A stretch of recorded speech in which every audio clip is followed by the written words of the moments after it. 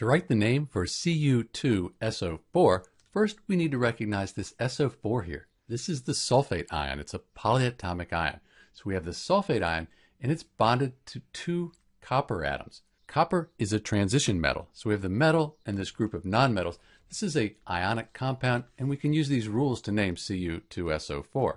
So let's first start by writing the name of the metal. Cu is copper and then SO4, one to remember, is the sulfate ion. Lowercase s and at this point Cu2SO4, the name we have is copper sulfate. But we said that copper is a transition metal, and that means it can have a different ionic charge depending what it's bonded to. So here these two copper atoms, they're bonded to the sulfate ion.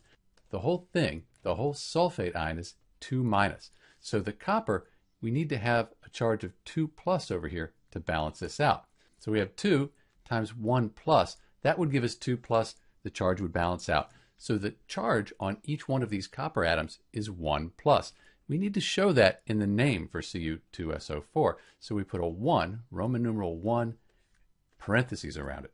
And the name for Cu2SO4 is copper 1 sulfate.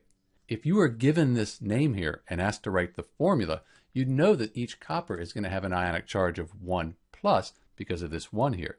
And then you know the sulfate, the whole thing is 2 minus. You'll need 2 of these 1 plus copper atoms for the whole 1 sulfate ion. This is Dr. B with the name for Cu2SO4. Thanks for watching.